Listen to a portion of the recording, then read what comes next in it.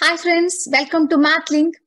I'm Nithiya and today's topic, the topic of this video is about the history of matrices. It will tell you all about the history from 19th century to till now. So let's begin. The concept, the concept of matrices, it was first introduced in Chinese math book, the nine chapters on the mathematical art. It's shown here and the author of this book it is unknown. The author of this book is unknown. And the chinese mathematician liu hui who wrote a written liu hui wrote a written commentary of the same book. And nine chapters on the mathematical art. It's a practical handbook consisting of 246 problems intended to provide methods to be used to solve everyday problems of trade, taxation, engineering, engineering and surveying. And the eighth chapter of this book, it tells us about the rectangular arrays, which is the matrices now. And that rectangular arrays, that particular chapter, it deals with uh, problems of agricultural yields, the sale of animals, and a variety of other problems, all leading to the system of linear equations and which are solved by a method and which is known in the West as the Gaussian elimination. All these problems led to systems ranging from two equations in two unknowns to six equations in six unknowns.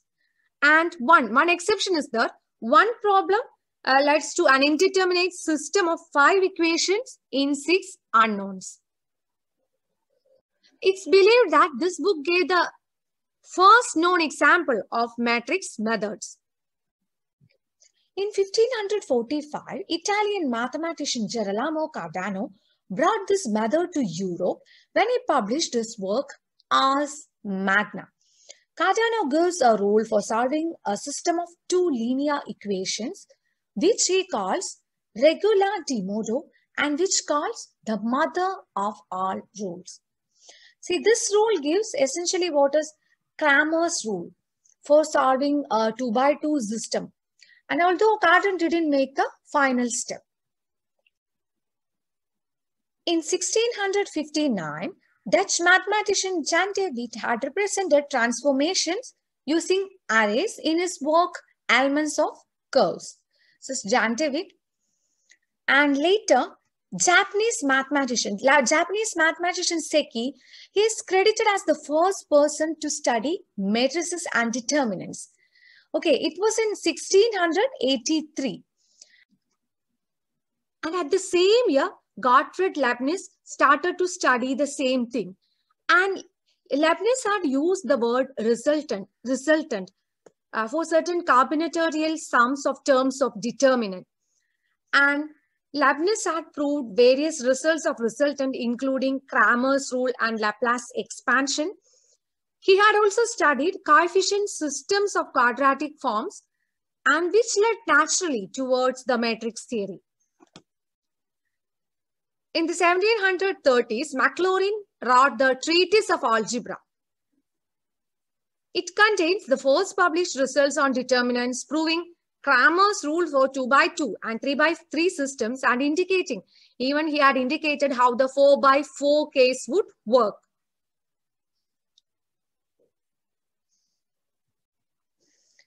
Swiss mathematician Gabriel Cramer, he gave the general rule for n by n systems in a paper, in his paper, The Introduction to the Analysis of Algebraic Curves in 1750.